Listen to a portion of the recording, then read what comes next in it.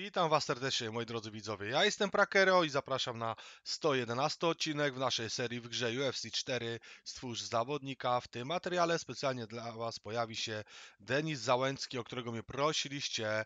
Jeżeli chodzi o typ zawodnika, no to tutaj wybrałem bokser parowóz, już Wam pokazuję. Ze względu na szybkie ręce i mocne ciosy rękami.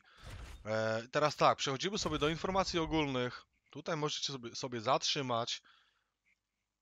E, Wybrałem postawę walki Alistair Overeem, zaraz wam pokażę dlaczego. O. Bo suge- sugerowałem się właśnie pojedynkami tutaj Załęckiego i zauważyłem, że on w bardzo podobny sposób się tutaj e, porusza na nogach, więc dlatego ustawiłem nadzie- mam nadzieję, że taka postawa walki się wam spodoba, bo ja uważam, że to pasuje do tego zawodnika. Przejdźmy sobie dalej do ustawienia wyglądu i tutaj macie włosy. No, nie było identycznych włosów, takich jakie ma Załęcki, więc ustawiłem włosy numer 18, z tego względu, że są najbardziej podobne do, tej do tej fryzury, którą on ma. Wiadomo, że nie są identyczne, no ale inny, innej tutaj fryzury e, nie ma niestety podobnej e, aż do tego stopnia, więc wybrałem właśnie te włosy numer 18. Jeżeli chodzi o brwi, no to wybrałem brwi numer 8. Jeżeli chodzi o zarost, no to tutaj wybrałem zarost numer 10. Jeżeli nie chcecie zarostu, to wybieracie jedynkę. E, Owłosienie ciała wybrałem 3. Jeżeli chodzi o kolor włosu, to dobrałem ciemny brąz na głowie, brwi jasny brąz, zarost tutaj też jasny brąz, no i owłosienie ciała ciemny brąz. Przejdźmy sobie dalej do ustawienia głowy. Ja tutaj wybrałem szablon numer 1 bazowo.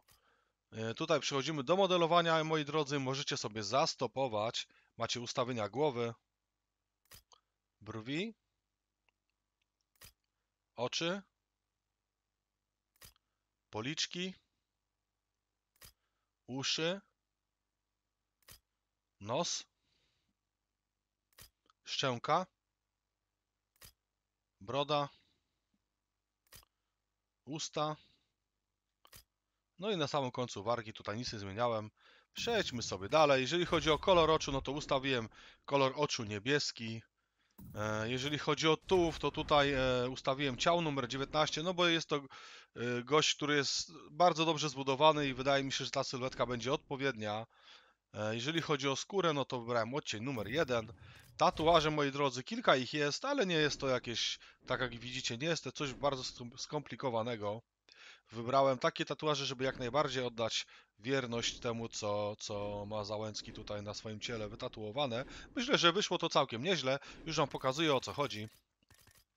Przejdźmy sobie do tych tatuaży, które widzicie na tułowie. Ja tutaj wybrałem czcionka fetę fraktur 8.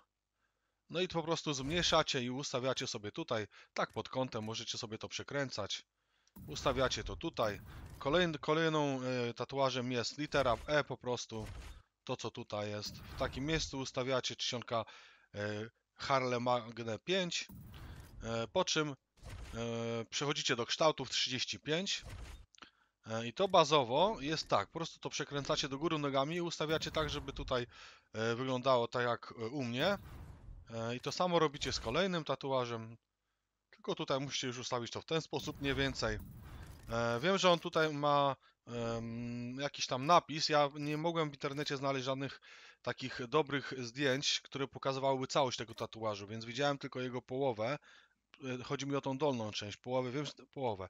Wiem, że tam jest jakiś napis, więc tutaj po prostu ustawiłem e, tekst numer 7 i go e, wziąłem i duplikowałem, żeby był podwójny, dzięki temu ten napis jest lepiej widoczny. Chodzi o to, że tam jest napis po prostu, tak? Pod tym militarem E, e i chyba to jest S, jeśli dobrze, jeśli dobrze pamiętam. No albo jakoś tak, nie wiem, dobra, nieważne. Ale chodzi o to właśnie, żeby takie tatuaże były. Jeżeli chodzi o tatuaże na prawym ręku, no to tutaj na pierwszy rzut oka wydaje się, że to jest bardzo skomplikowane. No nie jest tak bardzo skomplikowany, już wam pokazuję. Pierwszym tatuażem, jaki robicie, to jest tatuaż Irezumi 1. I to jest ten tatuaż tutaj. Po prostu musicie go tak sobie ułożyć, jak ja mam tutaj. Na tym przedramię, czy na tym, na tym ramieniu tak naprawdę i na bicepsie. Po czym e, przechodzicie dalej, wybieracie czaszki 7. I tą czaszkę, moi drodzy, sobie ustawiacie tutaj, w tym miejscu, gdzie ja mam. Kolejnym tatuażem jest Anioły Demony 12. Chodziło mi tutaj o to, że widziałem, że on ma, e, Załęcki ma tutaj na tym prawym bicepsie jakieś takie czerwone kółko, tam jest jakiś napis, nie mogłem dobrze rozszyfrować, co tam jest napisane, bo te zdjęcia w internecie nie były zbyt, zbyt em, kompletne, żebym mógł to rozczytać, ale e, oddałem, wydaje mi się, że te czerwone kółko jest tutaj e, całkiem spoko wygląda. To po prostu jest ten gościu. Widzicie, taka postać jakaś, która ma jakiś tam chiński znaczek, ale tu nie chodzi o to. Chodzi o to, żeby pod tą czaszką była, e, było to czerwone kółko. No i myślę, że to mi się całkiem nieźle udało. Kolejnym tatuażem to jest ten napis tutaj na, na tym przedramieniu. Wiadomo, że on cały mi tam nie wszedł, ale tutaj częściowo udało mi się e, go odtworzyć, więc tutaj pierwsza litera to jest właśnie czcionka Lino 5. To jest tutaj, po prostu musicie to ustawić tu, zmniejszyć i robicie tak z każdą kolejną. Tutaj macie czcionka Lino 12 obok. Tutaj macie czcionka Lino 1, to jest kolejna ta literka.